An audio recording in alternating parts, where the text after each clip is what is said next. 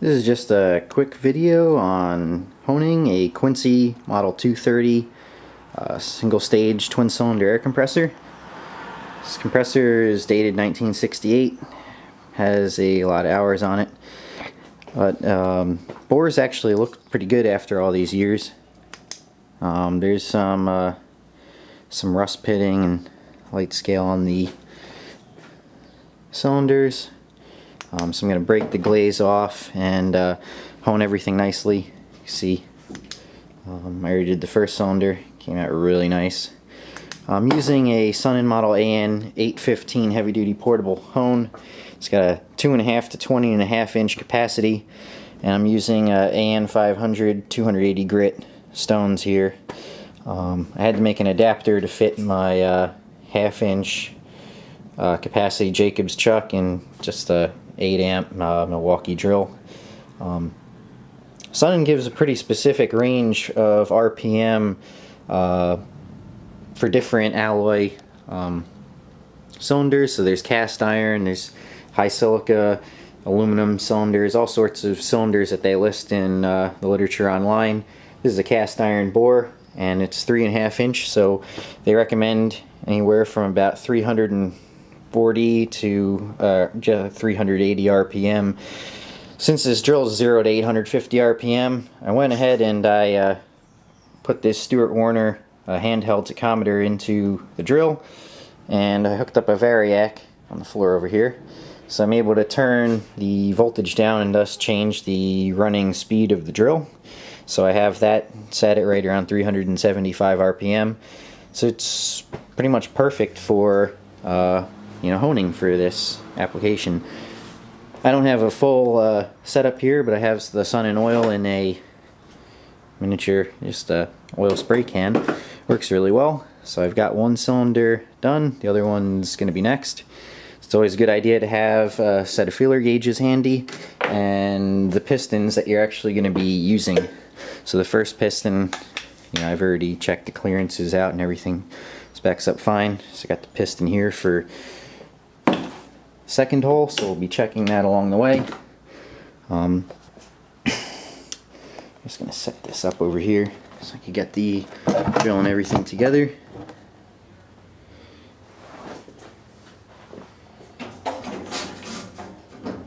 There's actually nice adjustment on this model hone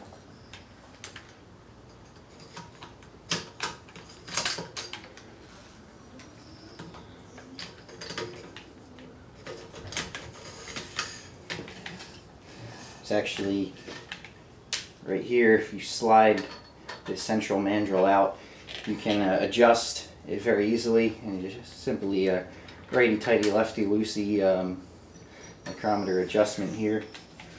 Um,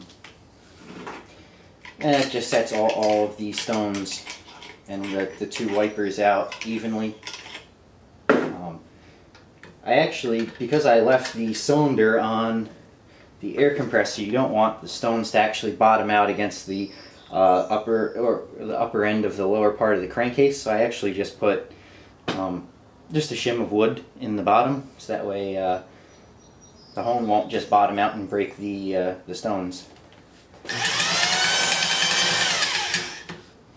So you can uh, start making your adjustments and going from there. You can start to feel and hear how uh, the hone's working. And it's always good to use a nice liberal amount of oil here.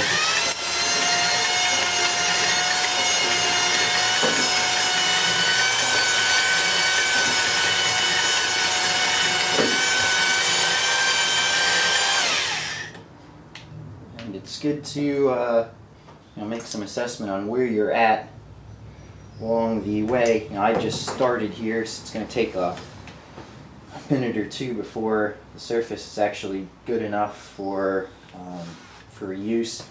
Um, but right now, you know, you're just gonna keep running the hone with liberal amounts of oil back and forth. Uh, so you try to maintain about a 45 degree uh, cross hatching.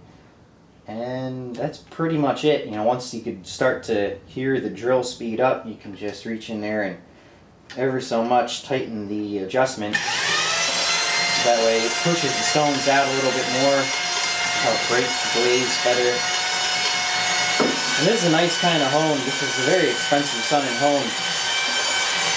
And it, it's actually much better for uh, you know worn cylinders because it's not a spring type, so it's not going to enhance any out of round uh, aspects of the cylinder. This will actually help to correct that. And you know, for, for larger cylinders and bores, Sunnen makes uh, adapters so you can actually run two lengths of stones on there so you get um, a longer continuous surface of uh, stones keep the surfaces nice and straight for either boring larger cylinder engines or hydraulic cylinders.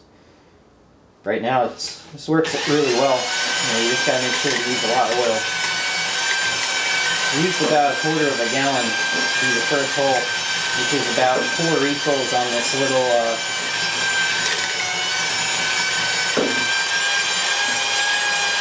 this little oil can. I'm not oversizing or anything. I'm just going to uh, clean up any of the irregularities in the cylinder. I can actually uh, just turn this out so you can see how much we've done so far not so much.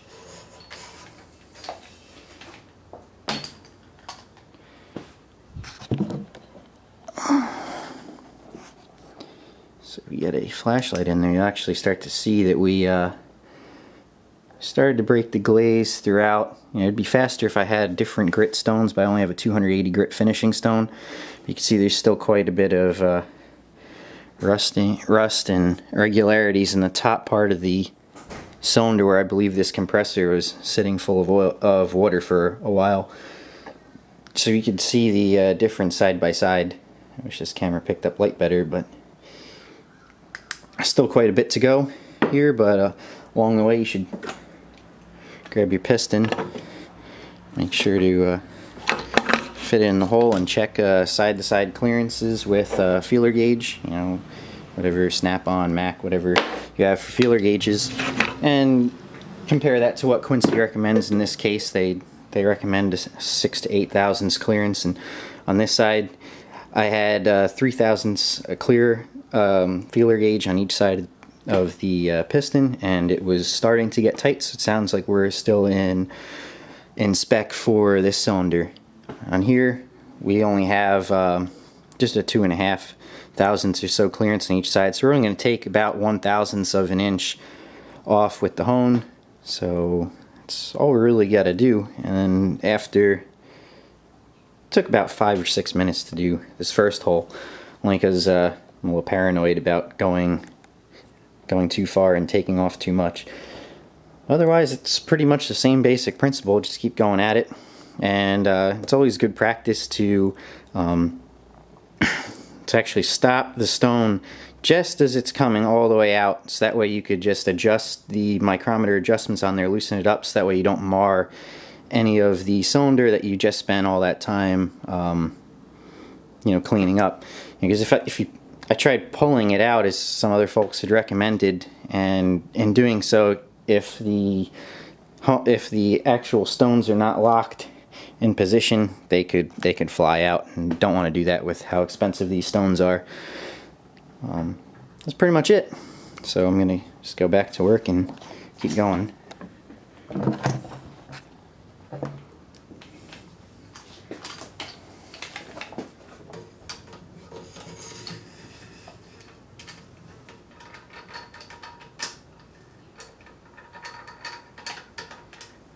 You can actually gauge um, how tight this is getting just with this micrometer adjustment. There's spring springs on either end of the, right now it's just too tight.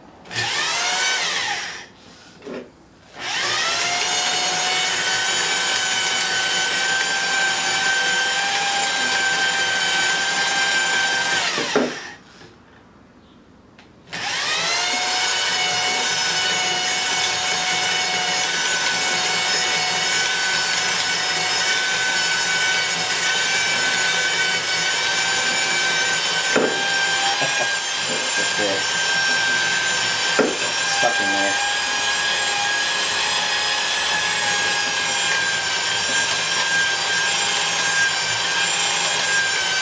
Probably better to have a complete setup.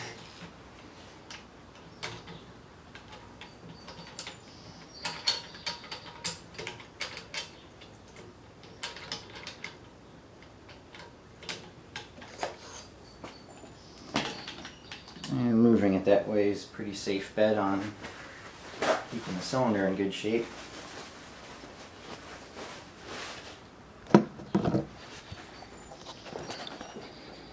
It's starting to look a hell of a lot better. Take a couple more passes where we get everything nice again. That's pretty much it. You know, it's uh, the same basic process over and over again until uh, measurements are nice.